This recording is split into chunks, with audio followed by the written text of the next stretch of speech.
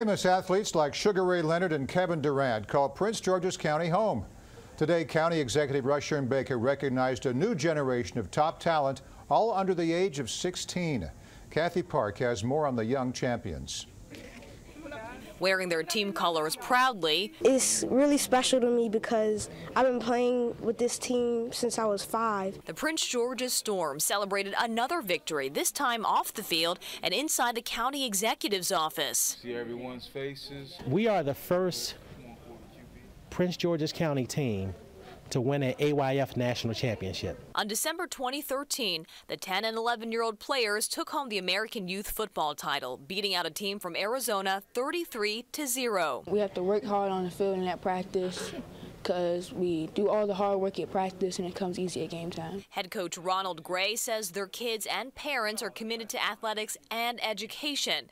That kind of teamwork didn't go unnoticed. This is your day in Prince George's County. County Executive Rushern Baker presented a proclamation highlighting their achievements. And moments earlier, another ceremony. Now, we can tell if you're really good, you know how?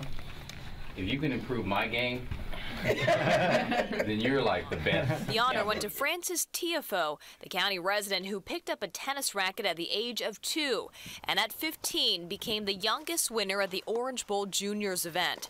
Andy Roddick and Roger Federer are some of the past winners. Uh, I practice four hours a day and do conditioning for an hour and a half.